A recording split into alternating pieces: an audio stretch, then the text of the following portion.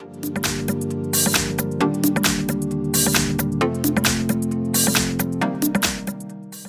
Hi everyone, in front of me I've got Xiaomi 11T Pro and let me share with you how to change the wallpaper on this device.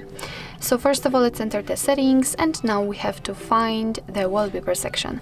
And as you can see here we've got some uh, albums from which we can choose the wallpaper from. So we can choose it from local photos, recently used, pre-installed ones, live wallpapers or super wallpapers. What's more, if you will have the internet connection then you will be able to pick something from online wallpapers, which is quite a cool option because here we can uh, find um, some beautiful wall wallpapers.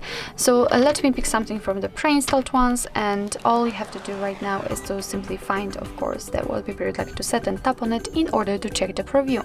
So uh, if you're happy with your choice just tap on apply and right now you can uh, decide where you want to set it so you can set it as a lock screen, home screen or both and I will pick both options so let me tap on it and we've got the information that the wallpaper has been applied so let's go back. And as you can see the wallpaper uh, indeed has been uh, applied successfully. So actually this is it. This is how to uh, change the wallpaper in your Xiaomi 11T Pro. Thank you so much for watching, I hope that this video was helpful. And if it was, please hit the subscribe button and leave the thumbs up.